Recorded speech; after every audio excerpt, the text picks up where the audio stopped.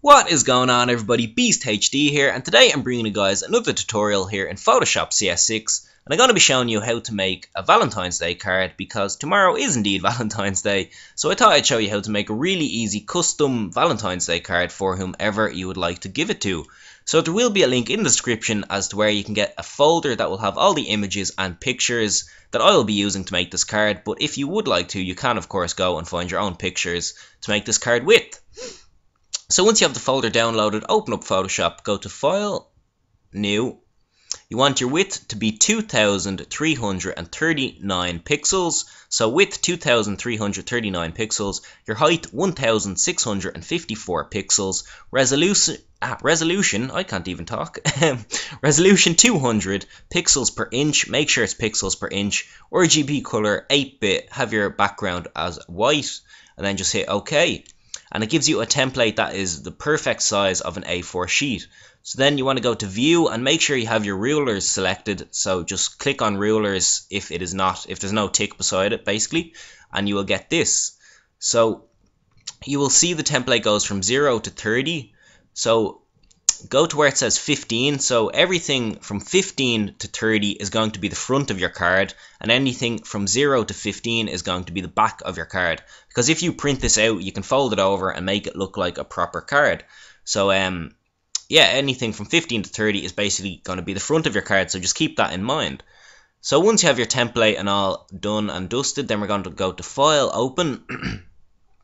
and open the red grunge background. Just double click on it and Photoshop will bring it in automatically. Once Photoshop has it in come down here to where it says background right click on background go to duplicate layer then uh, just name it as I don't know BG or something. Name it as whatever you want and then just hit OK. And then make sure you're on your move tool. Your move tool is your first tool up here at the top. And then just left click and drag the background straight into your template so this is way too big, so what we're going to do is we're going to hit Control T on the keyboard to resize it. You'll see the little box appears. Just drag the picture down until you can see one of the corners of the box. Then just left click on the corner and make it much smaller. Just keep doing it until the picture is quite small basically. like so, and I'm basically going to resize this so it fits the front of the card. So I'm going to line it up with the 15. It's a little bit too big. There we go. And there we go. So once you're happy with it and that the front of your card is uh, basically basically just once you're happy with it then just hit this tick over here. And now what we're going to do is we're going to go to filter blur then you're going to go to iris blur and just click on iris blur. And then once it comes up left click the middle of the iris blur and just drag it over to the front of your card like this. So drag it over to the right a little bit the right of your template then come up to the top, left click and just drag this up a little bit and you'll see it will resize it. Come over to the left and drag it in a good bit like that. Then just make sure it's in the middle. There we go. Once you're happy, once it looks kind of like this, kind of like my one, then um, put the blur up to around 30 and hit OK. And then Photoshop will take a minute or so to do this. Come on. Okay, there we go. So we have a little blur around our image and it's looking pretty good. So once you have your blur in, then we're going to go to File once again, Open. then open up the heart J, heart.jpg. Ah, heart.jpg. I cannot pronounce words today. anyway, once again, come over here to where it says background, right click on background, duplicate layer, and then just type in heart or whatever you want. Just hit OK. Once again, make sure on your move tool we are indeed, so left click and just drag the heart image straight into your template once again. And we're going to have to resize this again a little bit, so once again, control T on your keyboard. Just resize it a little bit. I'm going to make it a tiny bit smaller like this. Make sure there's a little bit of room at the top and bottom of your image because we're going to be doing some more stuff later on. So make sure there's room up here and down here. Make this a tiny bit bigger. And once you're happy, just hit the tick. So go down to where it says heart over here in your layers and then just above heart you'll see a drop down menu that says normal on it. Click the drop down menu and then select screen and it just changes it like so. So now we're going to add some text in. So your text tool is this capital T here. Just click on the capital T and then left click and drag out to make your box to type in. And then basically just type in whatever you want. I'm just going to say Happy Valentine's Day. So there's happy there. The font I am using is called French Script MT. It's just joint writing. It looks nice and elegant and stuff like that. So uh, that's why I'm using that. And I'm going to make this a tiny bit bigger so 60, that might be a bit too big though. Yeah, I'm going to leave it at 48. And I'm just going to hit the... I'm going to rotate this a little bit actually. So just go down to one of the corners, left click and drag out to rotate it. I'm happy, so I'm going to click that tick. Then I'm going to go back to my move tool, just left click on that and I'm going to stick it in this heart here. If I can get it there. There we go. And once again, text tool,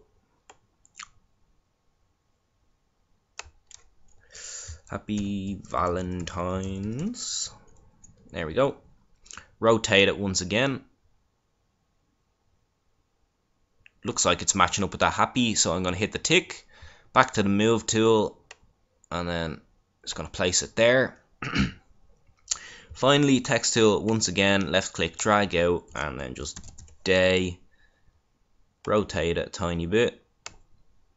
Hit the tick, back up to the move tool and there we go. We have our happy Valentine's Day or whatever text you would like to have in your little heart there. So now I'm going to customize this by adding some pictures in. So you can add some pictures in of whoever you're giving the card to. If you want to add pictures of you and them, uh, then you can, or just add pictures of them, or just random pictures if you want.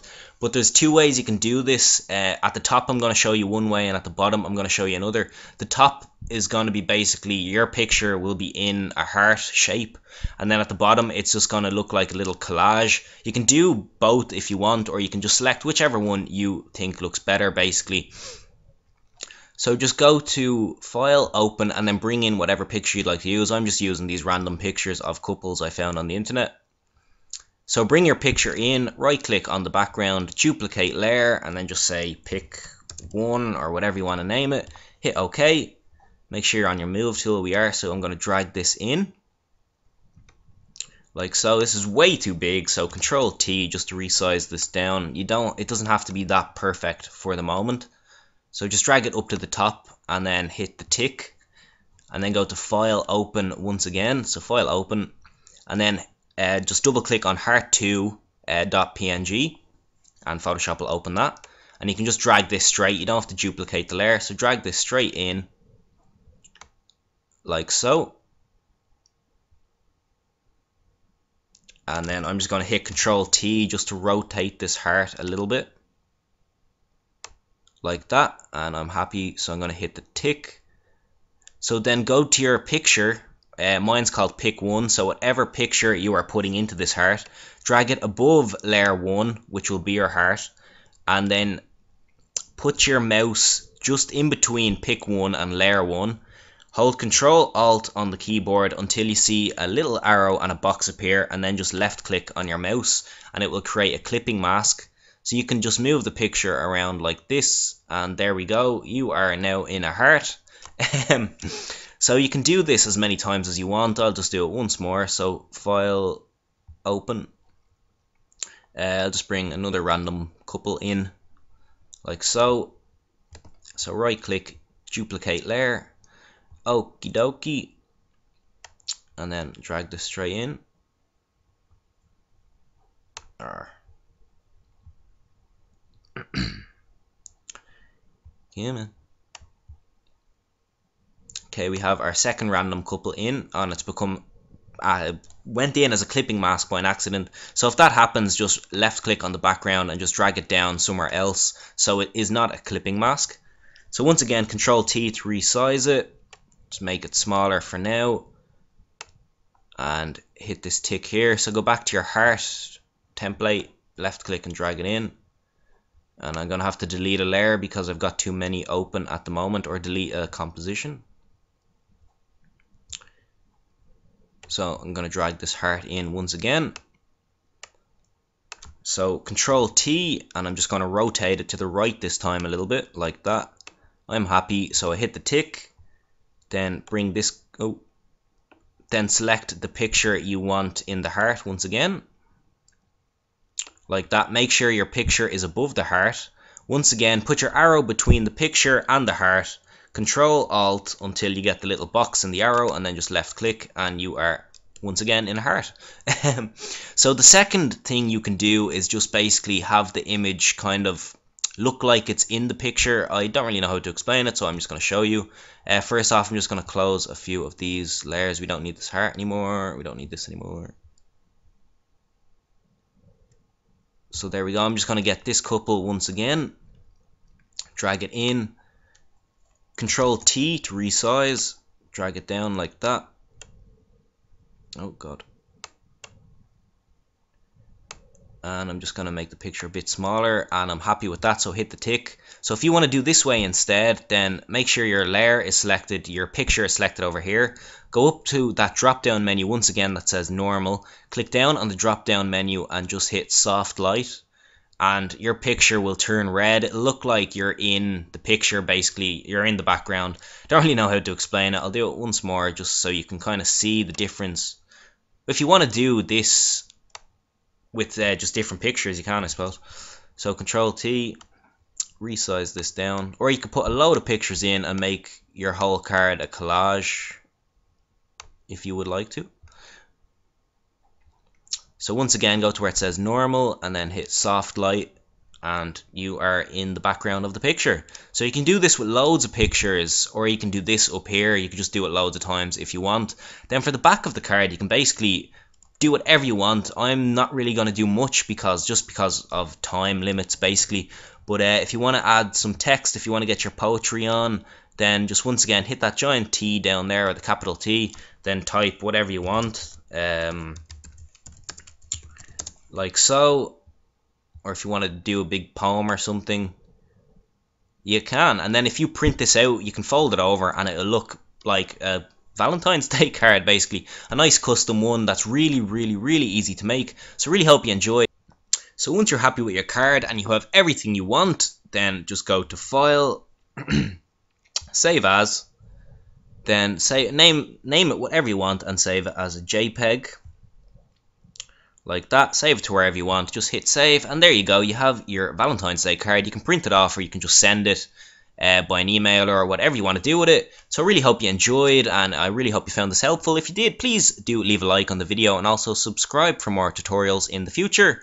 Um, yeah, so I will see you guys next video. Have a very fantastic Valentine's Day. See you guys later.